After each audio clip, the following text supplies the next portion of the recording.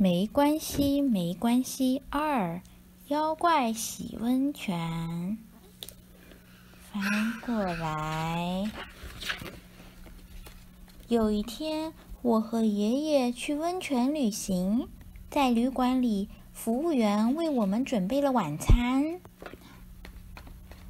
哎，哎哎，摆了三人份的饭菜，奇怪啊，只有我和爷爷两个人啊。这时，爷爷说：“没关系，没关系。”晚上，我躺在被窝里，喘不上来气儿，呼呼，热乎乎的风吹了过来。我睁开眼睛，看见妖怪站在枕边笑，妖妖妖怪！我慌忙叫醒爷爷：“哎啊，你现身了。”没关系，没关系，难得你现身一回，就请多待一会儿吧。我吓得直哆嗦，真让人烦啊！什么饭？你肚子饿了呀？不是，肚子不饿呀。没关系，没关系，你远道而来，一定累了吧？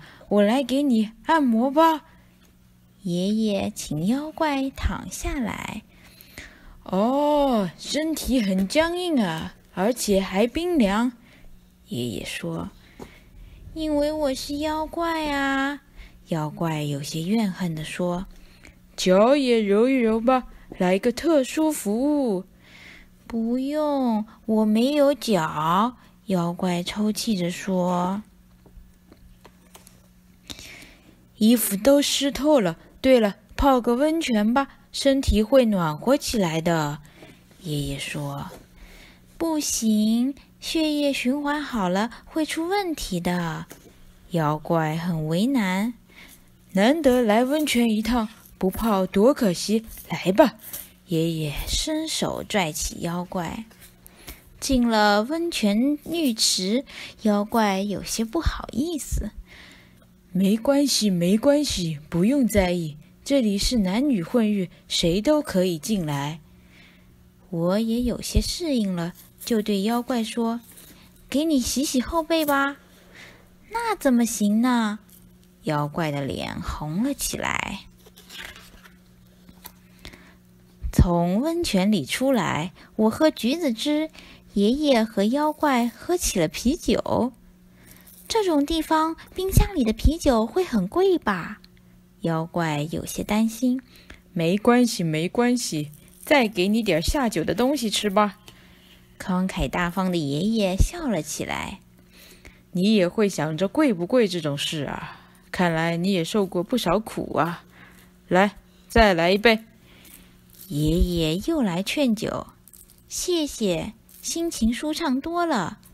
别谢，别谢。你要是觉得与我合得来，不管什么时候，我都可以陪你说话。听着爷爷和妖怪的说话声，我不知不觉的睡着了。第二天醒来，妖怪不见了，一定是回到那个世界去了。爷爷说：“再也见不到他了吧？”没关系，没关系。哎，你还想见到他吗？不。我怀着一种既想见到又不想见到的奇怪的心情，然后我们就回家了。妈妈端来了冰镇的凉茶。突然，我想上厕所，我要去大便。这是因为回到家放轻松了。妈妈微笑着说：“我一打开厕所的门，咦啊，妖妖妖怪！”昨天那个妖怪竟然在座边上坐着，我叫爷爷，他他他跟来了。于是爷爷跑过来说道：“是吗？跟来了，没关系，没关系，热闹一下，这也蛮不错的嘛。”讲完啦。